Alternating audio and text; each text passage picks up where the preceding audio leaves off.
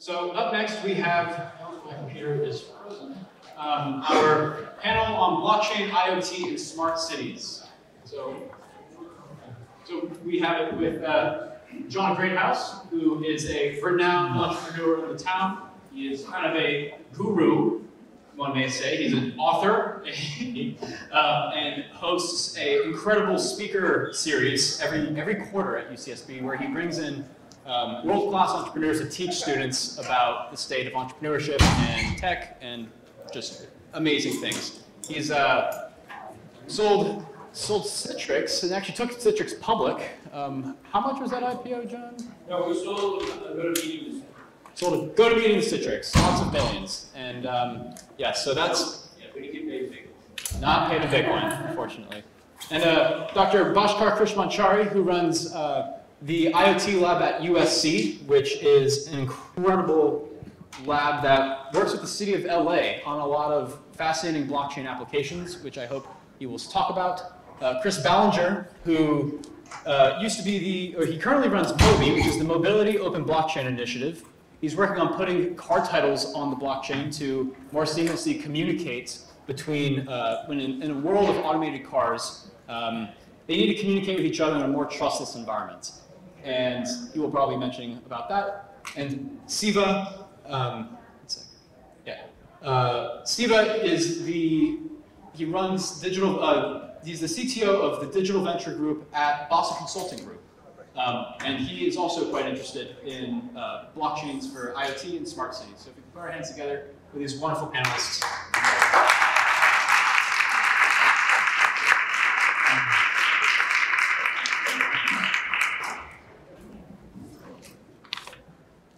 All right, well, thanks for hanging in with us. This is the end, but it's not the bitter end, um, I hope. No, I don't think it will be. I did get a chance, or Cameron did get a chance to introduce everyone except for Barbara. Barbara Bickman is also um, here with us today. I'm Barbara Bickham. Hey, Barbara. She was the co- she is the co-founder and managing director at the Women's Innovation Fund Accelerator, and she's also the founder and CTO of Trailyn Ventures. She's going to talk about, she's going to tell us a bit more about her IoT and blockchain experiences, but I will foreshadow a little bit. Um, she's been involved in IoT that has been used for energy management, and one of her blockchain initiatives that she's been involved with is with tracking sustainability. So I'm sure we'll hear a little bit more about both of those. Thank you all for coming. We appreciate you coming to a beautiful Santa Barbara. It's usually a bit warmer, but we can't control that. My first question is to the entire panel, and I guess we can just go, we'll just go this way and then we'll come back this way. Um, I'm curious, this is actually a selfish question because I'm frankly curious about this from these leading experts in the in IoT and, and blockchain. I'm curious what you folks think about the hype curve when it comes to blockchain. And just quickly for, for folks that may not be familiar with the hype curve, that's that graph you've probably seen before. Think about flying cars in 1958. They were coming in three months. That was like the top of the hype curve, peak of, peak of inflated expectations if you're a scholar. Uh, then, of course, they didn't come in three months, and then we were in the trough of disillusionment, and slowly, it's taken quite a number of decades, we're starting to see Uber and some other folks actually build what could be flying cars. So we're kind of getting to more of the uh, slope of enlightenment, or hopefully eventually the plateau of productivity, which is when it's a mature um, technology. So with that long preamble, I'd love to hear your thoughts on where do you think we are with, with regard to blockchain on that, on that curve? So uh, I don't know the names of all these different you know, Yeah, parts of that curve, one, but two, I three, think or four. I, I, I, something I've been saying for really um, at least a couple of years is that being in the blockchain space is like flying a plane while it's being built. Uh, I think there is a lot more hype uh, than you know if you actually look for real use cases. They emerge. They take a lot of time to build. Uh, blockchain is actually a harder technology to adapt uh, to different use cases because it's not just you know a single company that needs to make it all happen. So I, I think we have a long way to go. I think I just leave it. Do you think, do you think we are out of the hype, the very, I mean, because if you think about three or four years ago. I think there's still some hype there. Oh, okay, Yeah. so we're still somewhat on that hype curve. I think so. Great. What do you think? So I would uh, add to what uh, Bhaskar has been saying about blockchain and the issues with the blockchain. I think that relates to where it stands in the hype cycle.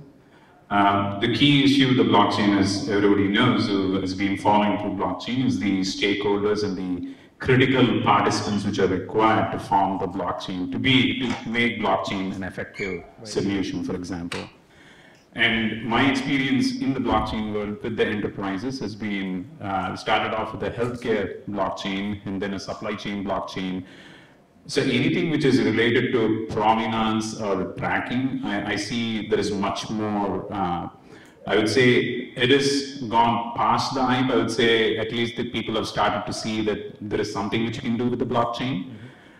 On the other side, for example, with the IoT, for example, the panel which you're talking about, I see that it's still in the innovations uh, scale, primarily because of some of the challenges which still need to be resolved uh, from a technology standpoint as well to Yep. scale it. Right. Uh, so it's, it's a bit more earlier. So I think depending upon the applications and depending upon the industries, there are different uh, places in the hype cycle, which I would say. Yeah, no, that makes sense.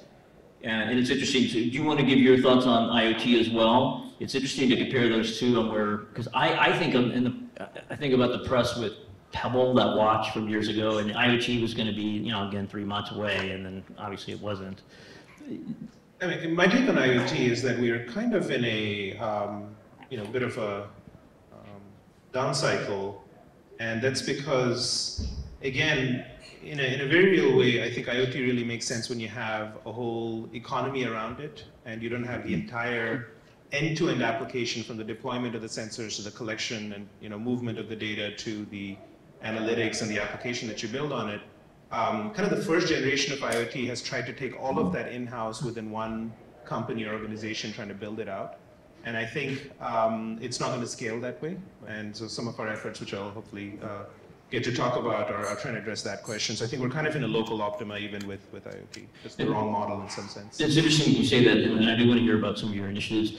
That when I think back to the internet, back I'm old enough that I was involved in the internet back in the early days. We had to build the credit card processing. We had to, we had to build all those tools that now you can get for free on GitHub, right? Um, so it's kind of similar in that regard. It wasn't that it was impossible to sell things online in '99. It was just really, really hard and inefficient, and, and we had a long way to go. And it just takes some time. Yeah. Barbara, what are your thoughts on, you can talk about blockchain and IoT and kind of where they might compare.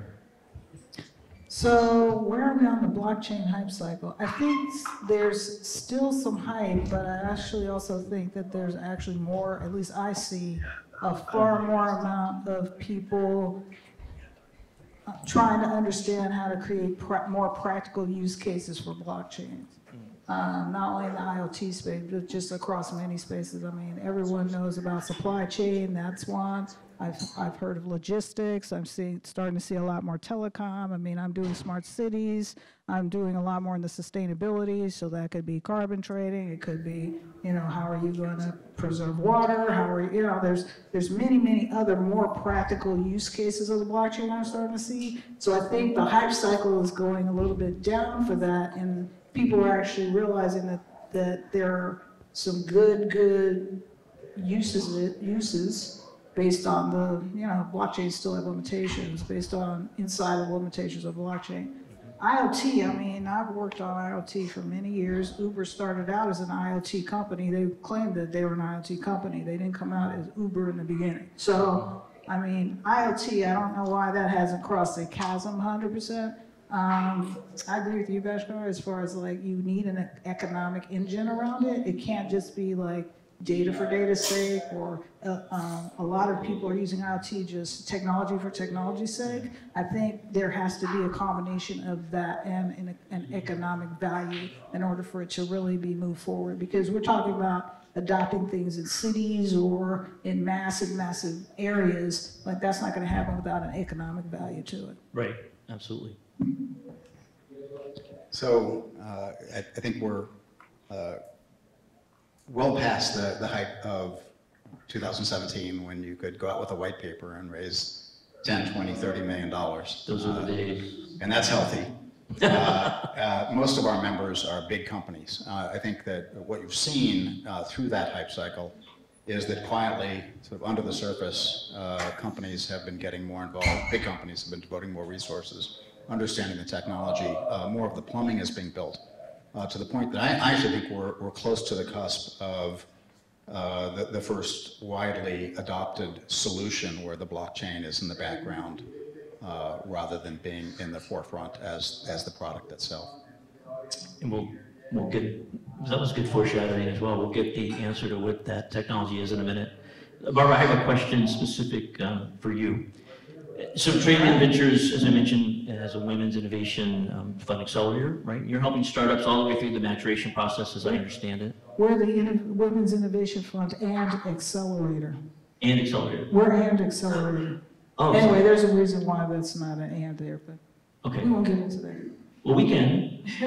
I, I, I'm curious as to, um, and just for the folks out here, what, one thing they're doing is trying to take startups all the way through that, from due diligence, if they're, if they're being, um, looked at for funding, all the way through to sustainability. So, so what we do is, um, we kind of do three things in that fund. We're an Opportunity Zone Venture Fund.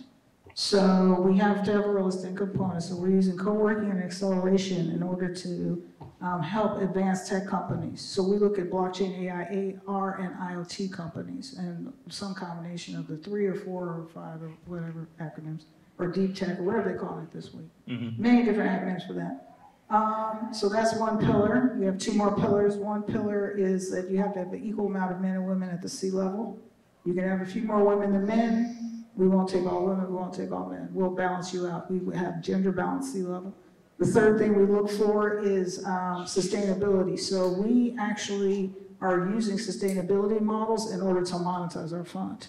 So the companies have to be sustainable, we are sustainable, we are creating intellectual property around sustainability inside of our fund um, to make it very attractive to those uh, kind of longer-term investors. Because it is kind of, a- and and we have to, because we're doing the tax advantage portions of it, um, we kind of had to differentiate ourselves that way and make ourselves unique. So that's the fund. If you don't mind, let me rip off of one thing you said. I'm involved in a local diversity and inclusion project here in Santa Barbara. And one thing we struggled with is, or struggling with, is how do we measure impact? So the first step is sort of, as you identified, like how many folks are, do do we have from up- underrepresented groups? Have you guys explored that? Like how do you then, then uh, go beyond the numbers and look at what impact the folks are having a chance to make at a company? As far as what? To, to measure diversity and inclusion beyond, okay, you have half women and half men, you know, going maybe beyond that Like their saying, economic impact, their sustainable impact, I mean, we, you know, we're, we're investing in companies, so, um, all statistics are proving that if you have a balanced C-level, um, your company's more profitable, like Kauffman just came out, Kauffman Foundation just came out with a huge, huge study. Like if you have one woman on your C-level, you're gonna raise more money you're going to get further, your culture is going to be better. Like IDC had a huge uh, study come out. So like all the statistics around uh, diversity inclusion, I, I don't know what you want to call that. I don't, I don't think of it that way. But the, you know, the, all the statistics are starting to come out to prove that, you know, you, you need to kind of balance it out. The reason why we did the fund the way we did is because we said, in order to make the next generation investor and board members, um, we have to powder these types of companies, and they can be underserved and they can be underrepresented, and that's across many spectrums, because we look at underserved and underrepresented. And that could be women, that could be, you know, people of color, that could be other diverse people. So that's what we look at, that's, that's how we look at it. Um, and so that's, that's part of the impetus of the fund itself, is to make sure like, hey, we're making the next generation investors, mm-hmm. so they can go and powder the next company. Right, That's so- why you have to have an equal amount of men and women at the C-level, because that's how we want to change it. right, yeah, C-level, then maybe they're sitting on boards, and then maybe they're running funds and investing in, in startups or the next generation of companies. That's the purpose. Yeah, But you can't do that if they're not represented right, right, at that level. They have to be at the C-level, because when you're good, then say, because I just came from a board thing yesterday, hey, you need to be able to have CEO experience, you need to have this other kind of experience, you need to have governance experience, you need, you know, so, um, and then to run funds, you know, they want you to have experience in certain things, so that's why we're doing it. yeah, good for you. It's a great initiative. Bhaskar, I have a question for you about the um, initiative you have in Los Angeles. So one of your team's goals is to partner with governments, industry players, and universities. I, I want to hear a little bit more about your partnership with the city of Los Angeles, and then also, how might it be extensible to other cities around the country? Sure. Um, so this is an effort we call I3, it stands for Intelligent IoT Integrator. And uh, so the motivation is uh, what I was alluding to earlier, where typically today when people think about an IoT solution, they have one very specific application in mind. So in the context of cities, it might be uh, maybe an idea for monitoring air pollution or traffic or the condition of roads. Um, and so typically you would see a vendor develop this idea and walk up to the city and say, hey, I'd like to sell you a solution. Now, think about this for a second. The county of LA has about 88 cities. The city of LA has upwards of 20, 30 agencies and departments. Which one of those doors are you going to knock on? And uh, when you do, they'll get excited and they'll say, great, let's do a proof of concept. You'll do the proof of concept, and then you'll say, you know, that went great, let's, let's go ahead and implement the solution, and then you'll encounter as a company that there is no actual buyer for this technology. Yeah. And if they, even if they did buy it, let's say they said this is a great solution, let's incorporate it, pretty soon you've got 20, 30 different agencies with their own IoT solutions for their own particular uh, capability, none of which talk to each other. They're all locked up in their own data silos. Um, they can't talk with systems that other cities within the same county have adopted, and let alone you know outside outside that area. So the i3 effort uh, recognizes at the start that it is helpful to think architecturally about IoT in the way that we've thought about the internet. The reason the internet has been around for 40, 50 years is this notion that IP, this protocol, can run on all kinds of networks, and all kinds of applications can run on top of IP. And by decoupling networks from applications, over time, new networks can show up, like 5G can show up and it doesn't have to break the internet. New applications for the use of the internet can show up and that doesn't break the internet. We have social media today that we didn't have in the 60s and 70s, right? So in the same way, for IoT, we have to decouple data from the uses of the data. And i3 in particular, we're building an open source middleware to be launched uh, and uh, released next month, which will allow cities to essentially operate a data marketplace where different vendors can come and plug in their data streams and get incentive and get paid for the use of that data by application developers. And application developers in turn have a one-stop shop to come to a city and say, these are all the existing sources of data that we can have to build our application. And just to give you one concrete example, let's say you wanted to build a parking app for the city of LA. You would have parking data from the city meters, you'd get parking data in private garage owners, there'd be streets where there is no metered parking, but maybe somebody has a camera pointed at it that you could run through a machine learning algorithm and infer when spots are available.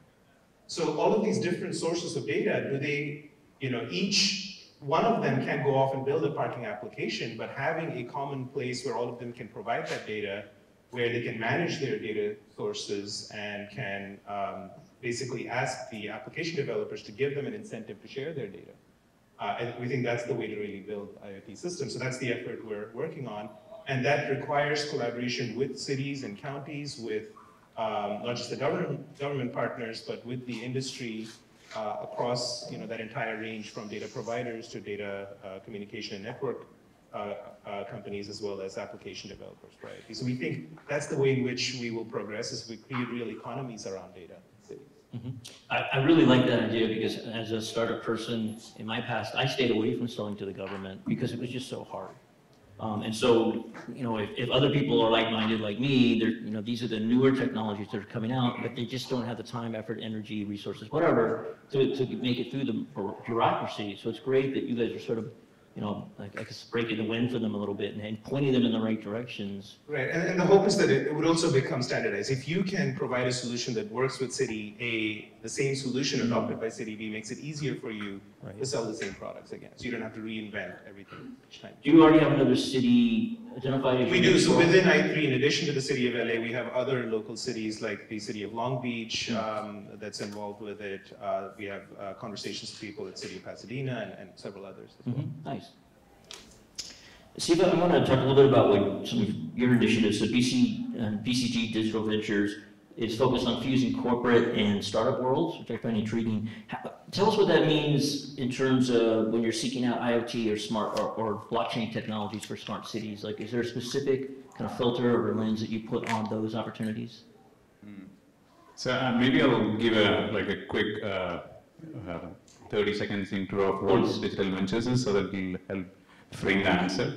Digital ventures is essentially trying to work with corporates, like all the top Fortune 100 or Fortune 500 clients, and essentially build startups for them. Like we are trying to help them innovate uh, because of huge enterprises with all the uh, challenges with a big enterprise, it becomes difficult for them to innovate. So we come there, we work with them, and we also partner with the classic BCG. Like Digital Ventures is an arm of BCG, where we are essentially people who are experienced in startups and also from big enterprises. So my experience is like first uh, many years I was in big enterprise, last six years in IoT startup and blockchain startup. So essentially, that's the uh, that's the kind of people in digital ventures. So We go there, we try to understand the frictions of that corporate, and we try to enable them to innovate. So we look at the market, we look at the uh, landscape, and see what areas they can innovate. And some of the key areas from a technology standpoint we look at are all the deep tech which Barbara was talking about, AI, IoT, and blockchain. Uh, some of the use cases or some of the ventures which you have built uh, using IoT and blockchain, for example, uh, one is we built a venture called Tracr. Uh, this is for the provenance of diamonds. Uh, this is with De Beers. Uh, so this is a venture which is out in public. And likewise, we are also working with an energy company to basically decentralize the energy and basically help create a marketplace for buyers and sellers of energy, for example. Uh, the number, the use cases would depend upon the, the enterprise which you're working with, uh, but essentially we try to bring in, uh, we don't try to create new platforms and new protocols, we try to leverage uh, the advancements happening in the technology space across various technologies and essentially build those products for them or ventures as well. Like it's not just the product, but also a business which gets spun off independently. Okay, so you, you would help them identify what's out there and then recommend certain technologies that could benefit them. And then you're not, my understanding was you were identifying startups for them to partner with or acquire, but you're, you're actually taking some of that core technology and help, and building tools for the larger companies. Absolutely. Ah, okay. And it's essentially, uh, so there are three uh, key parts of this uh, equation. One is the DV team, which is essentially trying to innovate, help them innovate. Mm-hmm. You leverage the assets from the corporate as well. There is humongous amount of assets which they're sitting on, which they don't know, like the data side, the relationships, their partners, and so on and so forth. So we leverage that as well. And then the market understanding from the classic BCG because uh, they understand the market uh, like any strategic uh, totally. management firm, for example. Nice. Yeah. Sounds like a perfect pairing of all of the, these different resources. I can see the corporations, the innovator's dilemma, like, but we just keep doing the same thing over and over again. We know eventually that's not going to work. What yeah. do we do next? Yeah. Wonderful. Well, Chris, I want to hear a little bit more about Mobi. Um, so, quickly, it's a, and correct me if I misstate here, but it's a consortium of blockchain innovation in the, in the mobility industry. You have 80% of the global auto manufacturers as part of your, and maybe it's higher now. Uh, 70 to 80% of the global 70 to 80, we'll go with 80 we'll round up.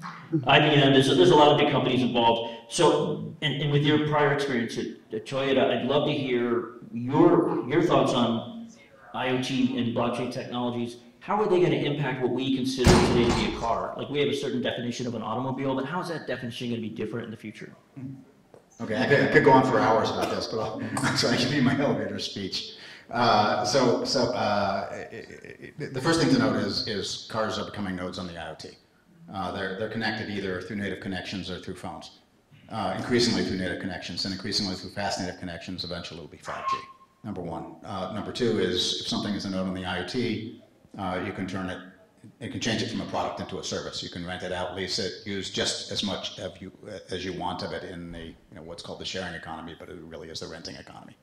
Uh, if you can do that, then you uh, can ask, well, what, what do you need in order to uh, to realize that vision, uh, and you probably need some way of making micropayments, uh, and and you, you, probably need some sort of, of, of an app to connect the, the services to the providers and the infrastructure.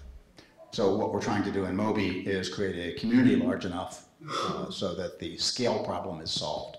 We think the, uh, the, the, real problem with, with, with blockchain and IoT is not the technology. It's relatively easy to put something on a chain. Uh, what's hard is doing something with it, getting to scale. Uh, it really, we think it is about the size of the community. And so we have uh, most of the world's large automakers. We have large NGOs like the World Economic Forum. We have the Ministry of Transport and Communication of the People's Republic of China, uh, and tons and tons of startups so, and, and universities. And uh, so we, we think we have the ready-made community. There's uh, 1.4 billion cars in the world. Probably if you add in three-wheelers and two-wheelers, you're well over 2 billion. Uh, So we think we have the devices, uh, and we're building the app and the, and the tokens, which is a stable coin uh, specifically designed for uh, vehicle to infrastructure and vehicle to vehicle payments. So do you see the, and I may be completely mishearing you, but do you see a world where people aren't owning cars and they're just using, they're just renting them as they need the usage? That probably a long time in the future, but I think there, there is a relatively rapid transition to uh, usage-based consumption of mobility, yes. So if a shared, so I, I, I'm an owner of a car, but I'm sharing that usage with folks that don't own cars? Is that, is that what you I envision? think, I think there's all kinds of business models here. Uh, Renting out the empty seat in your car as you travel, uh, I think that's going to become possible because the cost of doing that has fallen, just like the cost of renting out the empty bedroom through Airbnb Right. has fallen. I think the, uh, putting your car up for rent when you're not using it, uh, the peer-to-peer car sharing is one. But I also think there's all sorts of fleet models uh, where other people are going to be owning the asset and, uh, and and renting it out. Ultimately, car sharing and ride sharing converge when you have autonomous vehicles. I was, you know, as you say, with, do you want to talk a second about that? So when that convergence happens, how is the world going to be different? How are we going to, how's our thought about what a car is going to be different? Yeah, I think the, the, um, with, with, with autonomous vehicles, uh, you, you really, well, first, first, uh, I, I think uh, true autonomy, level five autonomy in a city as difficult as, as Cairo or New Delhi or Hanoi is probably a long way away. But I think there's a, a, a- an autonomy, uh, a vehicle autonomy that's coming relatively soon that is underappreciated. And that's the, uh, the autonomous payments. The ability of the, of a, to put a wallet in a car, tokens in a car, and have that car pay as you go, or the infrastructure it consumes for the, uh, for uh, buying and selling data out of the car to create uh, uh, uh, uh, maps or in a a local environment that can be shared among vehicles. Uh, That can be done uh, relatively quickly. Why? Because putting a profit function in the car is basically sophomore level calculus. It's not the hard, the world's hardest AI problem. It's a much, much easier problem. But it will be equally revolutionary. Why? Because uh, if you can uh, take a a wallet, put it in the car, uh, you can pay for infrastructure as you go. Today, we have a huge problem with infrastructure. You hear stories every week about crumbling infrastructure, the infrastructure deficit, right? Uh, If you can pay for infrastructure as you go, you can replace the gas tax, which is going to be a disappearing Right. source of revenue anyway. Uh, You can free up uh, trillions of dollars in stranded capital in the world, uh, capital investment by, by cities. Can solve uh, lots of problems related to infrastructure being a public good. And most importantly, you can create tools for city managers through micro-tolling within cities for infrastructure to manage demand in the network, congestion pricing, pollution pricing, carbon pricing. These are things that are going to have really big impact and, and are relatively near term and easy to do. Well, I'd say anything that can get rid of the regressive gas tax is a good thing. It hurts people that can't afford it the most. People that have to drive to work and don't get paid a lot to go to work, and so it'd be good to see that, that tax go away, or at least, um, be less Or, impactful. or at least use, the gas tax is an extremely blunt instrument. It Yeah. doesn't really incentivize good behavior at all, or Right. only in the bluntest ways. What you really want is something that you can micro-toll with, uh, create incentives in real time to get people to carpool, take public transportation, take other routes, avoid uh, heavy commute hours, uh, Right. those kinds of things. Yep. Uh, I have another question for the panel, and, and I think I'm gonna start with Bhaskar because you, you have a lot of experience with smart cities. I'm curious to think about, to hear your thoughts on the IoT connectivity, how that's gonna alter the daily, daily lives of future urban dwellers. So this would be a city with infrastructure that has Wi-Fi connectivity. Um, and then I'd love to hear your thoughts on how entrepreneurs can get ahead of those opportunities right now. Like what should, uh, what are the opportunities what should entrepreneurs be doing to, to put themselves in the right place to take advantage of those opportunities? And we'll just go down the line if that's okay. I think, you know, in terms of connectivity, the, with the development of 5G and deployment of 5G in urban environments, with increased support for higher density of devices, uh, it's going to be a game, it's going to be a game changer, um, because today's wireless networks, um, cellular networks are, are largely kind of a leftover from the era where all the devices were connecting to cellular have a person holding it. And so if you go from that model to one where the ratio of devices to humans goes to 10 to 1, 100 to 1, and beyond, uh, then you know having that connectivity is going to play a, a big role. Um, so, in, in terms of the applications that will emerge, I think ultimately it's going to be about what value do they provide to citizens, um, whether or not it's the city that's thinking about it or other entrepreneurs that find ways to provide that value. I think that's that's the real question. So, you know, just like with any other technology, the more you can figure out ways in which you can make people's lives easier, more convenient, more comfortable, more more healthy, you give them something that they don't currently have uh, that is now accessible because of the sensing capabilities, the actuation capabilities, uh, the greater ability to analyze the data that comes from these sensors uh, and act on it in real time. I think th- all of those possibilities that technology affords ultimately for entrepreneurs it's this is the time to be thinking about if you let's say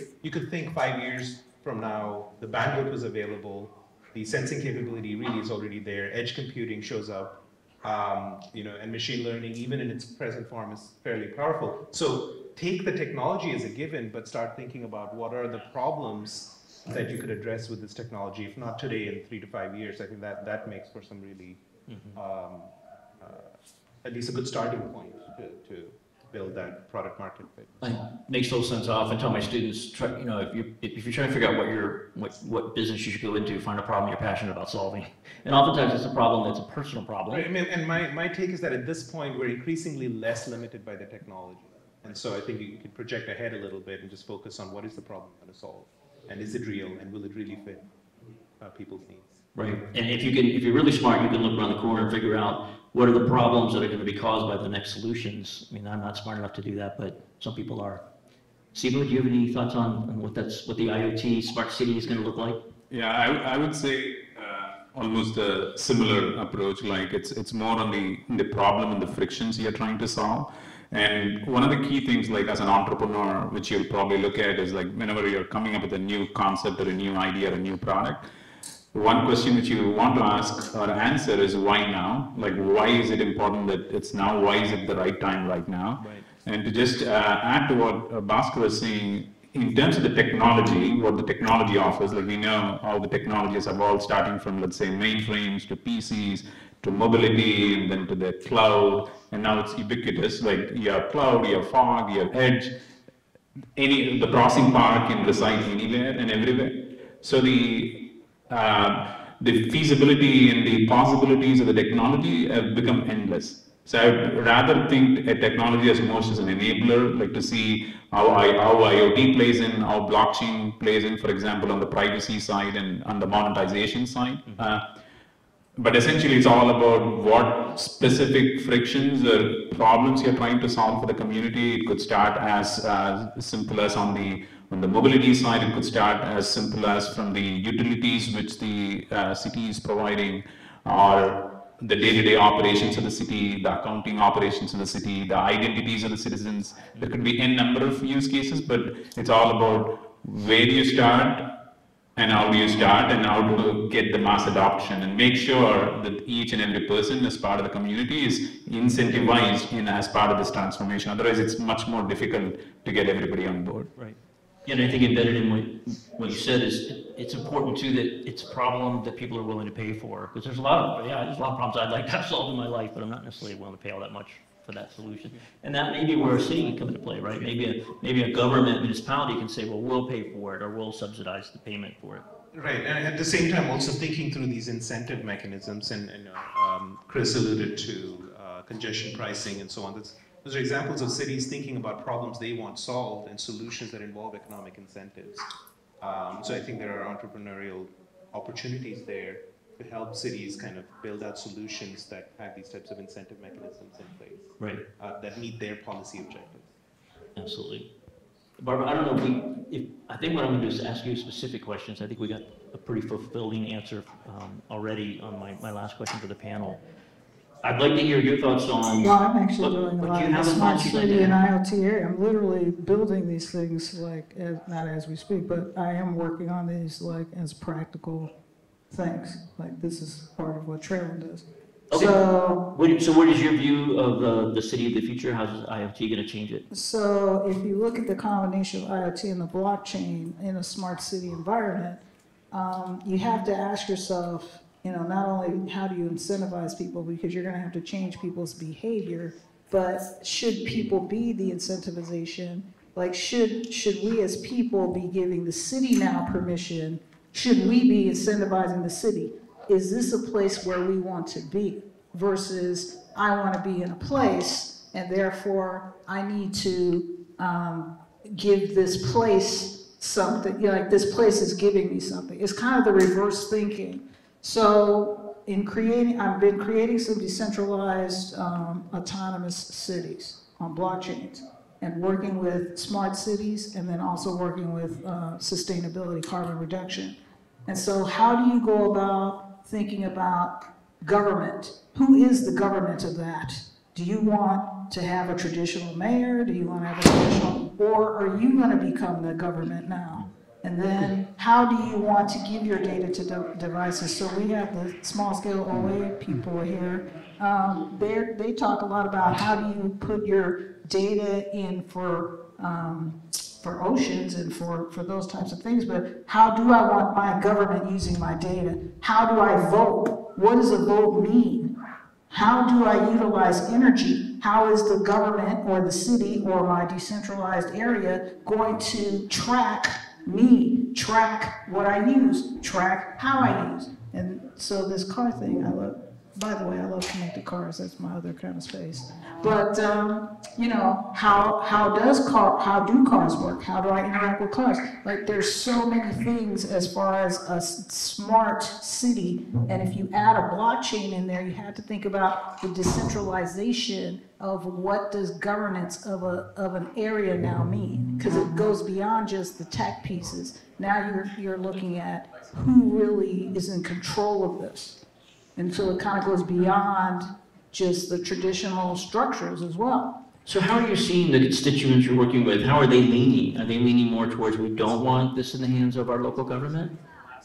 Well, I mean, you have to work with uh, a couple of these places are countries, so you have, you know, you have to work within the structures of the countries, but then these are private entities building these cities. So it's kind of like private-public partnerships. So how do you balance that out is really the question.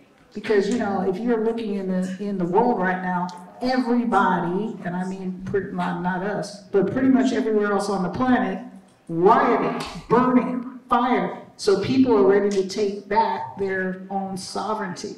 So what does that mean moving forward? So it sounds like the paradigm of what we're, which is kind of like the question I asked Chris about the paradigm of a car, even the paradigm of a city and maybe citizens' involved in that city is going to be impacted by, it's already being impacted by these technologies.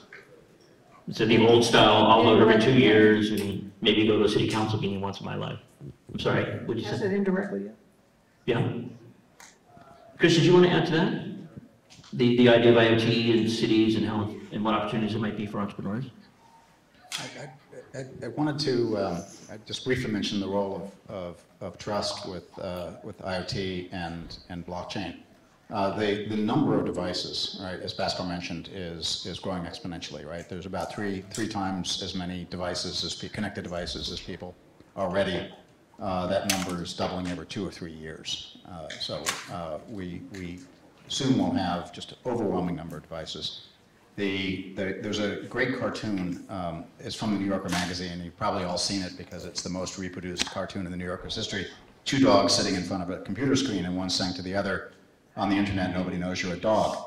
Uh, on the, in the, in the IoT world, right, this problem is gonna get much, much worse because of the number of devices. Identity, every, every device needs to have an identity, and every device needs to have a way of transacting securely with every other device. We already have an internet, uh, th- th- this lack of identity is kind of the original sin of the internet. Um, We, we already have an internet where 60% of the traffic is bots and 60% of, of, of, of that traffic is malicious. Uh, we, we, we've gotten pretty good as humans of figuring out that the Nigerian prince, right, really doesn't want to pay us a million dollars to arrange a simple cross-border transfer, right? Uh, but machines, IoT devices, aren't going to have that knowledge. Uh, they're going to have to have, and, and the, the AIs uh, that, are, that are out there are going to be very good at trying to fool other AIs. Uh, there's going to be a war. And so this issue of, of identities, uh, secure identities, secure payments is, is going to be really important in our smart cities. Yeah, well, it's interesting, Bhaskar was saying, the old days of, you know, six months ago, every, the phone had an owner, right? I mean, there was a unique number on that phone, and we could probably figure out, unless it was a burner or whatever, but most people. And you're right, those um, devices, who owns that device? Like, how, trying to track back the core ownership of a device is gonna be impossible. So we, we're almost out of time, but I wanna, I wanna, I have about two hundred more questions, we're not gonna get to them. But I wanna give the audience a chance, do you have a question or two? Is there someone that wants to delve into these brains here? All right, we've got one right here in the front row. Um, Thank you again for um, all your um, knowledge here. I just wanted to ask, um, um, uh, Chris, um, you were alluding to um, a project that is going to bring about mass adoption. Is that something that you're allowed to spring on us? Uh, Yeah, so um, we, we, uh, if if you actually go to YouTube and, and uh, uh, look up uh, tokens, car wallets, and the new economy of movement, you can see a three-minute video about our, our, our, um, our vision. Uh, But we, are- we, we do have a, a, a- mobility app, uh, Steve and I experimented, we downloaded it and experimented with it on the car on the way here. We have a, a a stable token that's, that we are working on. Uh, Bhaskar is an advisor to our project, um, and along with uh, many, many other uh, really stellar uh, IoT and, and, uh, and token designers. So, yeah, we're in the, in the- in the early stages of, of getting that going. I think we have time for at least one more question. I think I saw another hand. So we, uh, you guys talked a lot about transportation. Um, I'm interested in the intersection with healthcare and transportation as well, especially in terms of like ambulances. So in terms of all this technology, are you seeing any type of emerging technologies where healthcare and transportation intersect in regards to cities? Healthcare and transportation, you're asking? I, I have not personally seen anything to that effect.